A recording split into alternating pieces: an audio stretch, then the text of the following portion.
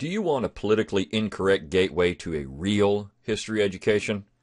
Then go to McClanahanacademy.com. That's McClanahanacademy.com. Are you ready to think locally and act locally? Welcome to the Brion McClanahan Show. Welcome back to the Brion McClanahan Show. This is episode 124. Glad to have you back on the program. Glad to be here. Before we get started, just want to remind you of a few things. If you do like this podcast, please share it around on social media. And you can find me on social media. You can find me on Facebook at Brion McClanahan, on Twitter at Brion McClanahan, and of course, you can subscribe to my YouTube page. Just go out and search for Brion McClanahan. If you don't want to go search for all those things, you can go to my webpage, brionmcclanahan.com. At the top of the page, you have all of my social media buttons. You can click on the Facebook, Twitter, or YouTube icon and find me that way. While you're at brionmcclanahan.com, don't forget to give me an email address, and I will give you a free ebook, Forgotten Founders in American History, and also a free audiobook of the same title read by yours truly. You'll get on my email list when you do that, and if you're on brionmcclanahan.com and you want to support the podcast and what I do, you can go to brionmcclanahan.com forward slash support, and you can throw a few pennies my way. Anything that you do uh, contribute does help keep the lights on, help keep the podcast going, and help keep me producing this content. So I appreciate all of your support. Also, don't forget that my How Alexander Hamilton Screwed Up America is out for purchase now. You can buy an autographed copy on my webpage. Just uh, look for that at the top of the page under books. You can also find it on Amazon, Books a Million, Barnes and Noble. And if you do purchase a copy, please go on out and leave a review on Amazon.com or elsewhere, Goodreads, wherever you like to leave book reviews. The more the merrier. And again, if you do like this podcast, also please re- leave a review on iTunes. Again, the more the merrier there as well. Okay, today's episode of the Brion McClanahan Show is actually based on something that happened yesterday. So uh, this is some you know current contemporary stuff. It actually has to deal with the Ingraham angle, which uh, which premiered last night on Fox News. Now, I don't particularly watch Fox News.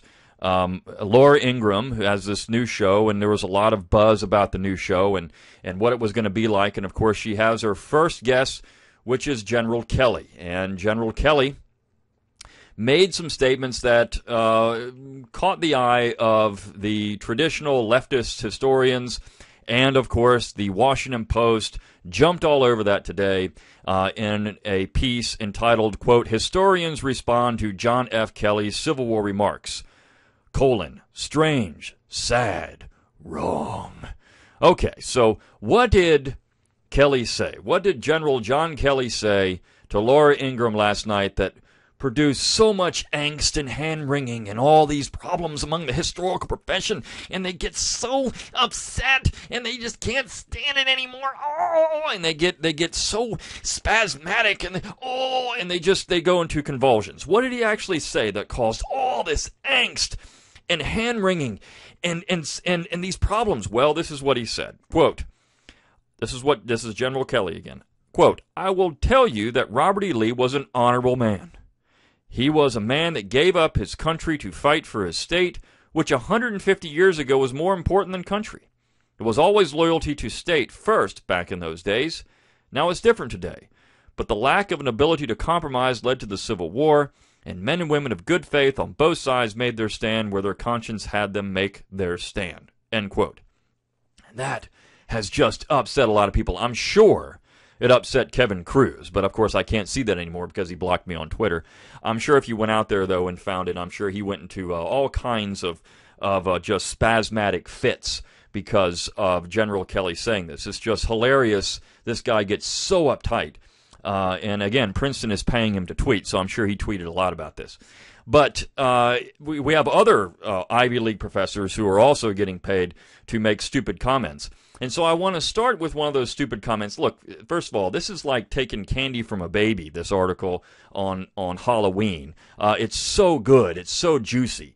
I just have to rip it all apart. So you've got uh, David Blight, who I've already torn apart in uh, just the last podcast. In fact, or two podcasts ago, I should say. Race and Reunion. I was asked, uh, where is my penetrating review of Blight's stupid book, Race and Reunion? Well, I gave it to you. So here we have David Blight again out there saying this.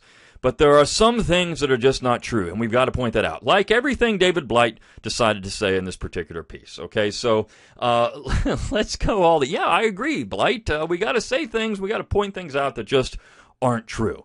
Uh, and uh, we have to understand, and this is where you get into memory studies and his, which is a stupid field. Again, memory is history, so we're, we're it's history studies. I mean, this it's, so ridiculous what we've gotten to in uh, the historical profession uh, that we even have someone like David Blight being popular at all. But it shows you how bad the historical profession actually is.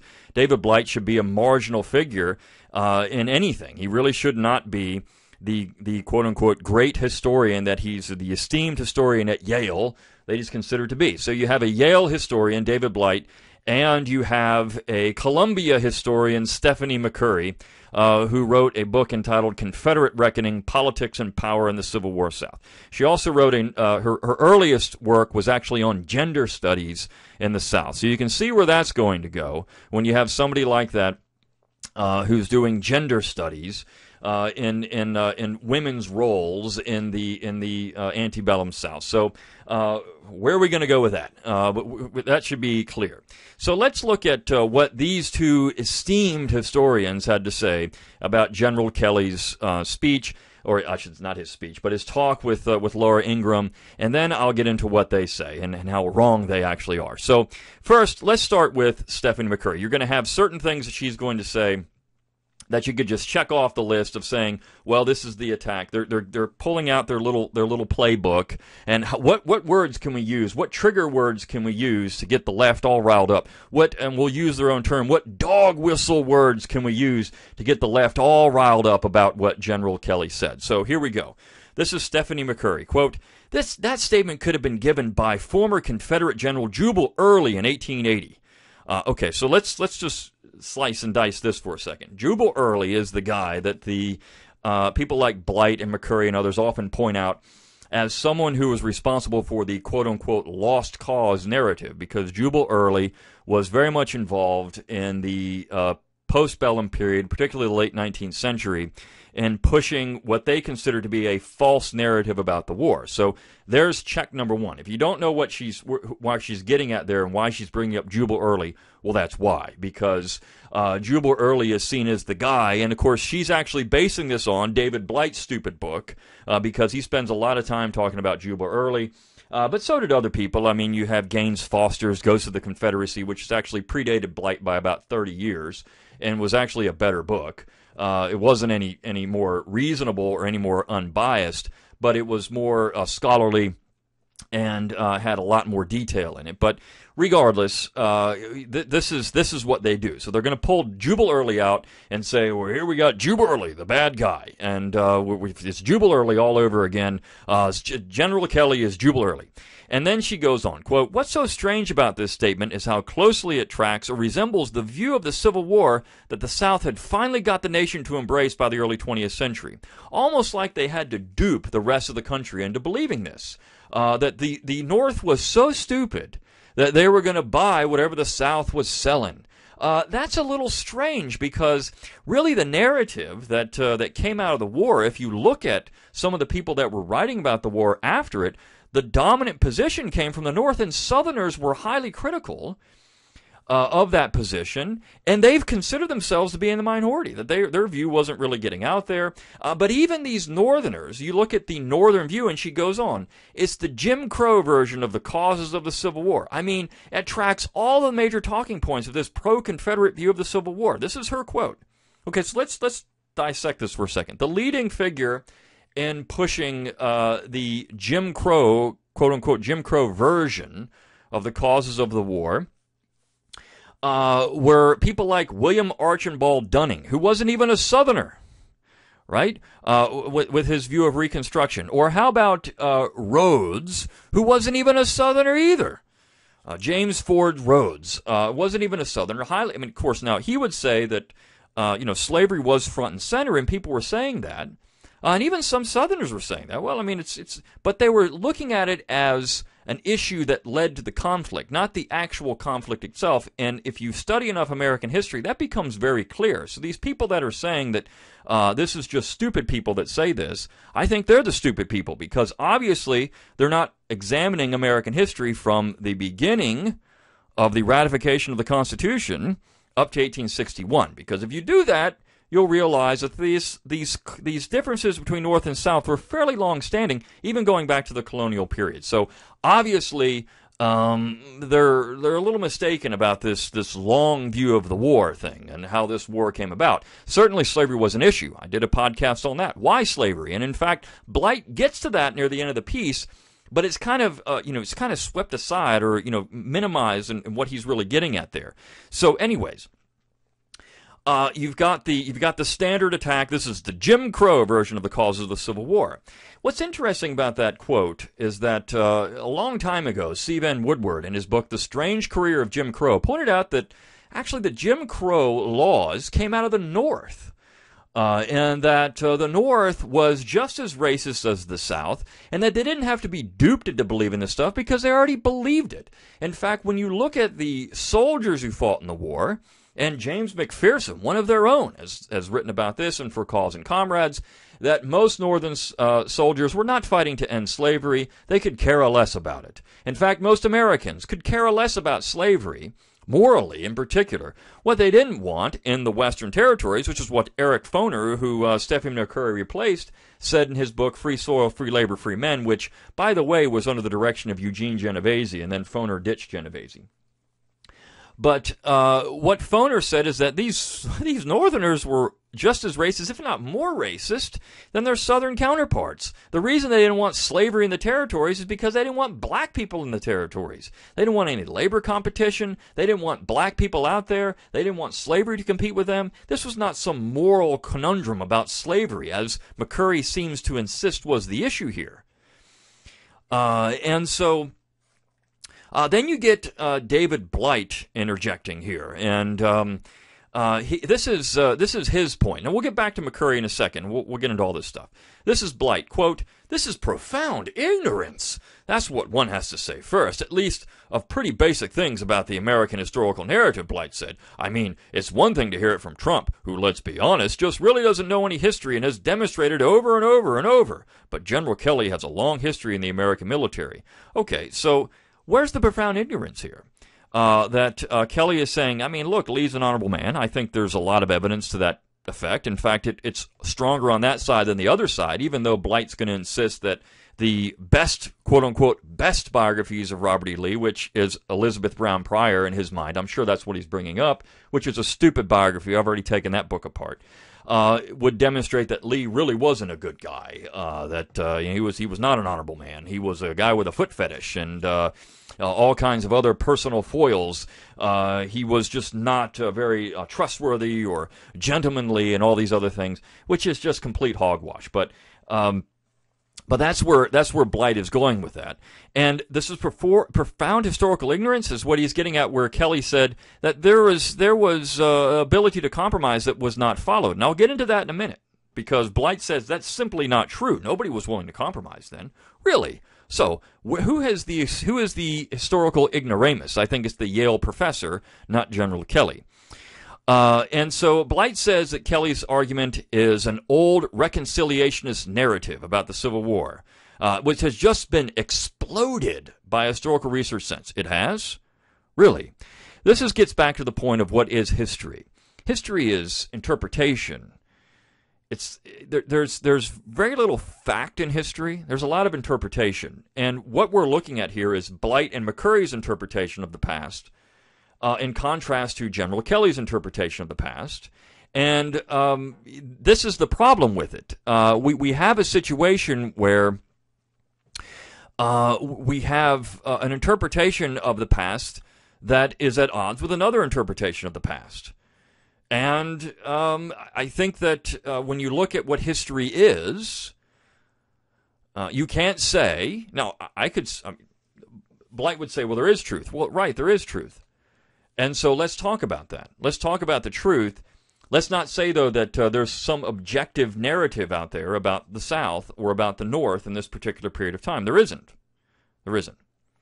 So McCurry, uh, McCurry said then, it was not about slavery. It was about honorable men fighting for honorable causes, McCurry said. Well, what was the cause? In 1861, they were very clear on what the causes of the war were. The reason there was no compromise possible was that the people in the country could not agree over the wisdom of the continued and expanding enslavement of millions of African Americans. This is a half truth at best. A half truth at best. It depends on, first of all, which state you're looking at to what the causes of the quote unquote war were. If you're talking about Virginia, the cause of the war was that Lincoln decided to march 75,000 troops into the South. That caused the war. If Lincoln didn't do that, there's no war. If Lincoln didn't decide to provision Fort Sumter, which was actually argued against by his cabinet for weeks, Winfield Scott saying this is dumb, so they sacked Winfield Scott and got him out of the way, and then ended up using his Anaconda plan anyways. Uh, if Lincoln had been willing to compromise, there would have been no war. I, I actually, this this is just uh, you know, the idea. There was no compromise possible. Is that the people in the country cannot agree? No, no, no. The problem was Lincoln wouldn't compromise. The Republicans wouldn't compromise. And so I'm going to get into Blight, what he says in a, in a, in a second here, and, and talk about how stupid David Blight is. Uh, but anyways, uh, there was there was no disagreement uh, or, or, or you say there's no compromise possible over the wisdom of the continued and expanding enslavement of millions of African Americans. No, that wasn't the issue. The expansion of slavery was certainly an issue, but the continued enslavement, nobody was talking about that. Very small percentage of the population was even concerned about the plight of slaves in the South. A very small percentage. In fact, abolitionists were run out of town in the North. They weren't even welcome.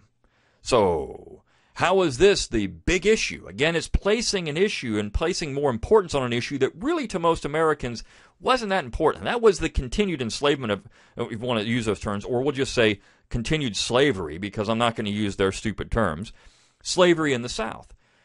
Very few people in the country were even concerned about that.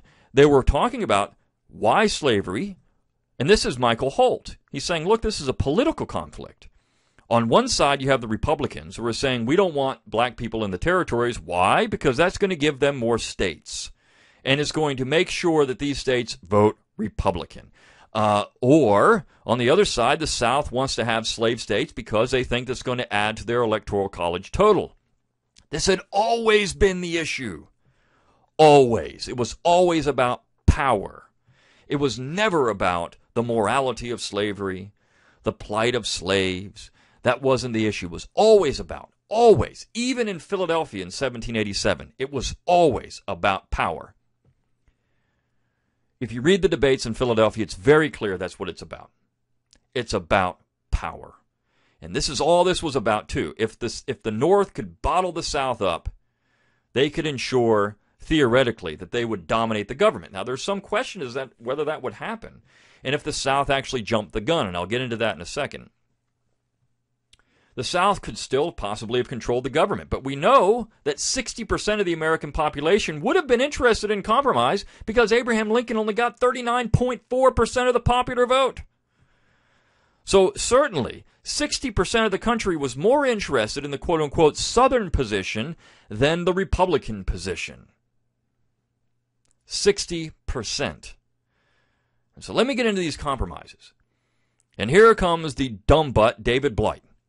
Quote, any serious person who knows anything about this, already he's making a personal attack, so I guess I'm not serious, can look at the late 1850s and then the secession crisis and know that they tried all kinds of compromise measures during the secession winter, and nothing worked. Nothing was viable. Well, why is that? Dr. Blight, why was nothing viable? Well, let me explain to you why nothing was viable. The South was certainly willing to compromise. In fact, the Committee of 13, which was established to sift through all the compromise proposals, received support from the Southern delegation. In fact, Jefferson Davis, who headed up that committee, made a rule.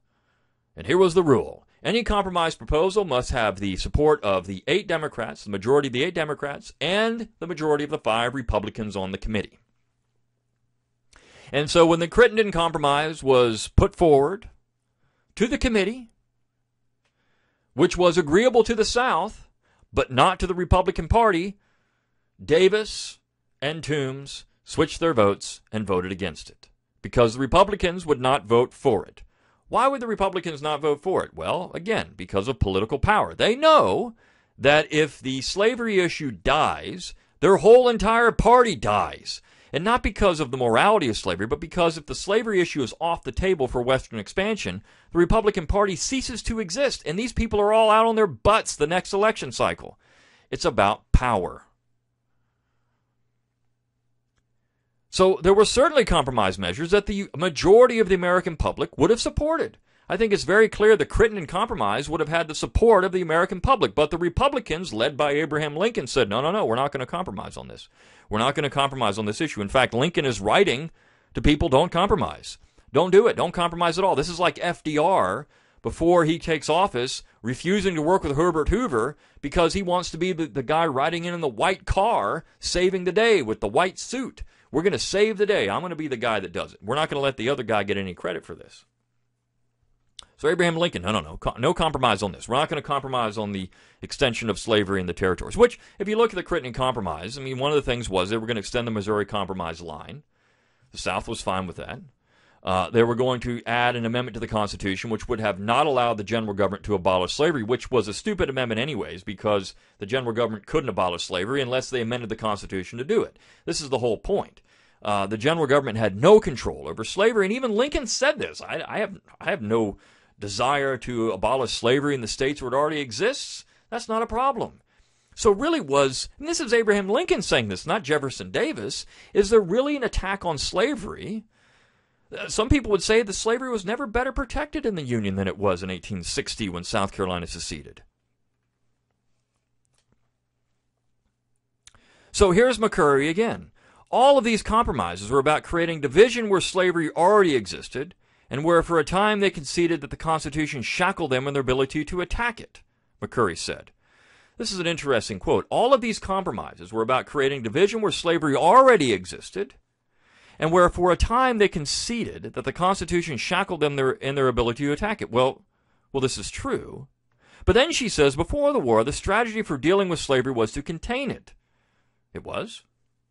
Hmm. Um, well, maybe for the Republicans, but uh, Americans had compromised over and over again and allowed slavery to expand. In fact, it had expanded so much that there were a whopping 20 slaves in the Western territories uh, where slavery was legal in 1860. Wow, 20 slaves, and those Southerners are going to war for 20 slaves.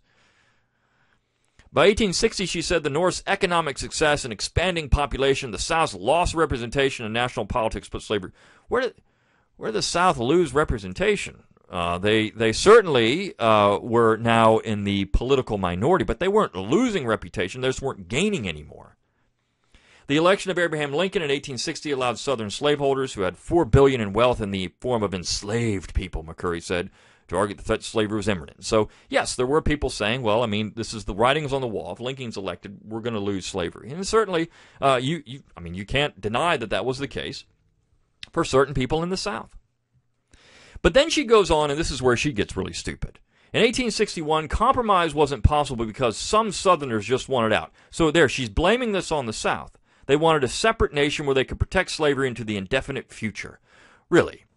Uh, first of all, compromise wasn't possible because Lincoln wouldn't compromise. Not because some Southerners wanted out. There was only one state out of the Union in December of 1860. One state. The rest of the South was willing to compromise. One state. And in fact, South Carolina probably would have come back into the Union if compromise had been reached. It wasn't the South that was rejecting compromise, it was the North. So there was compromise possible. This is why people like Avery Craven and James Randall call this entire generation the blundering generation because they blundered in the war. This is entirely correct. This is McCurry again. Quote, that's what they said when they seceded. That's what they said in their Constitution when they wrote one. They did. I've read the Confederate Constitution many, many, many times. Um, the interesting thing about it is that, yes, the general government, the Confederate Constitution, could not abolish slavery, but they say nothing about the states being able to abolish slavery. In fact, it's just like the U.S. Constitution. The could abolish the states could abolish slavery all they wanted. The general government could not, but the states could. But even that was up to debate because Uh, in 1864, Jefferson Davis promised the British government that they would recognize the Confederacy and give aid, that the, they would abolish slavery. Hmm. Well, sounds like they wanted to have slavery into the indefinite future, doesn't it, Stephanie McCurry? I don't know. I mean, this is this is talking point nonsense that we're getting here with these two esteemed Harvard, I'm sorry, two esteemed uh, Yale and Columbia Ivy League professors. Uh, and then Blight says this quote uh, Kelly's framework is quote also rooted frankly in a lost cause mentality that swept over American culture in the wake of the war, swept over Northerners. Blight said. This idea that good and honorable men of the South were pushed aside and exploited by the fanatical, ironically, First Republican Party. Well, that's actually true, uh, Blight.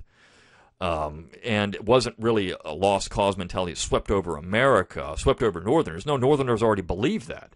The Republican Party didn't even have, I mean, look, it had 55% of the vote in 1864. 55% of the vote in the North in 1864. So, yes, it was in the majority, but when, by the time the South comes back in, it's not even in the majority anymore if you don't disfranchise people, which is what happened. And yes, good and honorable men of the South were pushed aside by and exploited by the fanatical, ironically, First Republican Party. This is exactly what happened, particularly during Reconstruction. Good and honorable men of the North were also pushed aside by the fanatical First Republican Party when you had uh, 30,000 people arrested for opposing the Lincoln administration, when you had people trying to vote through crossed bayonets, when you had ballots stuffed in ballot boxes and Democrat ballots taken out. Yeah, yeah, that's the Republican Party in the North doing things that they would do in the South when the war was over. Uh, that is the fanatical and corrupt First Republican Party. Uh, but Northerners didn't have to buy this because they already believed it. They already recognized, Joshua Chamberlain already recognized the valor of Southern soldiers, the value, valor of Southern men. This wasn't something that uh, you know we had to be uh, coerced to accept. But of course, that's what David Blight is getting into. Again, David Blight um, just is way off point here, as as normal, as usual. Uh, Blight also noted that Lee simply wasn't defending his home state of Virginia against Northern aggression. This is what the piece goes on to say. Quote, this is Blight. Of course we yearn for compromise. We yearn for civility. We yearn for some common ground, he added. But look, Robert E. Lee was not a compromiser. He chose treason. Now, this is a stupid statement. Robert E. Lee did not commit treason because the South was out of the Union. I've already gotten into this. I mean, I don't have to get into the idea of secession. I just did that in the last podcast. Uh, and uh, this is just a stupid position based on stupid ideas and a stupid understanding of the Constitution. Uh, Blight, for all of his esteemed learning, doesn't really know much about the U.S. Constitution. So we'll just skip on over that because I've already done all that. And then he goes on the best of the Lee biographies, which he's saying is the Pryor uh, biography, which is not the best biography, shows that Lee was a Confederate nationalist. He knew what he was fighting for. Yeah, for, for Virginia. Uh, he did know he was fighting for Virginia. he was fighting for independence. He made that clear to his men uh, in September of 1861. But I guess that doesn't matter. Um, so, anyways. Uh, and then both historians, though, held particular disdain for the idea that putting state over nation was the essence of the fight. Blight says, My God, where does he get that from? that denies the very reason to be the essential reason for the existence of the original Republican Party which formed in the 1850s to stop the expansion of slavery and ended up developing a political ideology that threatened the South because they really were going to cordon off slavery. Is that why the Republican Party was formed? I mean, they were they were trying to stop the extension of slavery into the territories for free white men, so that these white guys, who, I mean, these racist white guys, could not have any black people in the territories. Not because they didn't really, they were anti slavery in that they didn't want any competition from it. It could stay in the South all day long. They didn't care. Because they didn't want their, they didn't want, I mean, look, Eric Foner, the communist, makes this point. Uh, and then, and then he says, this idea that state came first, no, it didn't! With an exclamation point, he said. The Northern people rallied around stopping secession. This comment is so patently wrong. Hmm. Again, 60% of the American population in 1860 voted against Abraham Lincoln. 60%. And uh, if you take into account the fact that 45% of the North was opposed to the war, that's just looking at 1864. 45% of the North was opposed to the war. We don't know what that percentage was when we start looking at uh, you know the early days of the war, but we know by 1864, 45% was against the war. I mean, we can we can honestly say that by looking at the vote against Lincoln, and that uh, by crushing majorities, the South uh, was uh, accepted secession. Then we can say the majority of the American people were in favor of the state. And yes, they were trying to stop secession. The the the majority, not all. This this this quote makes you think that all Northerners were against secession. That's simply not true. There were many of them that weren't and favored peaceful secession over coercion. Many of them. So again, Blight, I, I, don't know what planet he's from, where he gets his history from, but obviously not from anything that you know, Maybe he gets it from Yale. I mean, because they, uh, if you've watched his lectures, they're pretty awful. Uh, I mean, it, look, if I had to take David Blight in a class, I'd sleep the entire time. They're that bad. Uh, and then McCurry. It's one thing to say Lee chose state over country. What Kelly says that is that was his country. That would be news to 350,000 Union war dead. Uh, well, I mean, Jefferson said Virginia was his country. Uh, Lee said that uh, Virginia was his country and the Confederacy was his country. Uh, and uh, the Union war dead were invading Lee's state. So they can say that's their country all they want, but they don't live there. I mean, this is just such a stupid argument. Uh, I, I, sometimes I can't even comprehend where these where these imperialists come from because that's essentially what they're saying. That's my land. It's like me saying California is my land. This land is your land. This land is my land. No. You live in California, that's your land. I don't have any claim to that. I claim where I live. That's not my land. It's it's this idea that, you know, the United States has to be so big and that anything in here is mine. It's mine. No. And then Blight goes on, it's so abs- just so absurd. Wringing his hands, I'm sure. It's just so sad. It's just so disappointing that generations of history have been written to explode all of this. And yet, millions of people, serious people, experienced serious people, and now people with tremendous power have grown up believing all this It's just so absurd. It's just so sad. It's just so disappointing. I mean, it's you can't even. You couldn't even write uh, a parody, a satire that would be this whiny. You couldn't do it. This is what we have: whiny, little, hand wringing academics. There was, however, a small silver lining, according to the esteemed author of the piece, Philip Bump. Now, again, you couldn't make a better last name for this guy up. Philip Bump. Uh, I mean, come on. Okay, I'm not even good it. But Philip Bump thinks there's a silver lining. This Trump era ignorance and misuse of history is forcing historians, and I think this is a good thing, to, use words like truth and right or wrong, Blight said. In the academy, we get very caught up in relativism and wherever we can be objective and so on, and that's a real argument. But there are some things that are just not true, and we've got to point that out, like your stupidity. I got to point out your stupidity, David Blight, because that's what the point of this podcast is. But, anyways, so uh, you look at some of the things. I mean, all the things they've said in this particular piece, and I've gone into some of the issues here, and and some of the things that they just get entirely wrong. Yet this is in the Washington Post. The Washington Post didn't reach out to anybody else and ask, uh, what was General Kelly? They just go to Blight and McCurry. They didn't go to anyone else and say, well, you know, give us your side of the story. How could this actually be accurate? Dwight Eisenhower had a portrait of Robert E. Lee when he, when he was in the Oval Office. He had a portrait of Robert E. Lee, and they asked him, How can you have a guy like that? And he said, Well, look, because Robert E. Lee was a great man. This is all General Kelly is saying. He was a great man, a great American. He, we, we think he was wrong about secession now, but that does not diminish who he was as a man. This is Dwight Eisenhower. Now, of course, Blight and McCurry would say, well, Eisenhower was reared on the lost cause.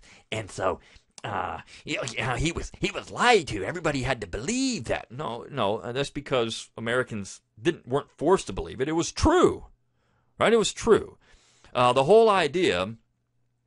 Uh, and you look at the, the conflict over between the North and South, going back to when we had Cavaliers and Puritans, and the cultural conflict there, and then you get to the Constitutional Convention, where it was pointed out, look, we've got North and South, and I'm not too certain these things really need to be in a union together. And it wasn't just about slavery, it was about economy and views of society and other things. I don't know if we really should be in a union together. I mean, that's that's a discussion.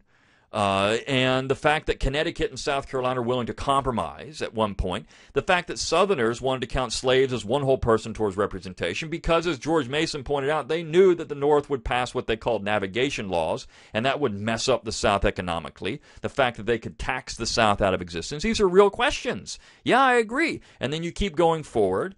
And you keep talking about Northerners pushing for secession first because they were the political minority. Uh, they just never had the, the stones to pull it off. That's the issue here. They never had the stones to pull it off. The South actually did it. So everyone thought secession was legal in the founding generation. Uh, and, and, I'll have to do something else with that. And actually, I'm going to hint there is going to be a tease. There is, I am doing something with that. And if you do listen to this podcast, you're going to want to get in on it. Uh, I'll have more information about that probably within a week at the most. Uh, so you're going to want to know about that. Uh, it's going to be awesome, and you're going to want it. Uh, so, uh, but the, the whole point of this is that you know serious people, experienced people, do know the truth, Blight, and it's not your truth. Your truth is stupidity. Uh, your truth is interpretation. Uh, so we've been we we've understood the truth for generations. It's just now you people are messing it all up. But anyways, I hope you enjoyed this version of the, this, or I should say, this episode of the Brion McClanahan Show. I'll see you next time.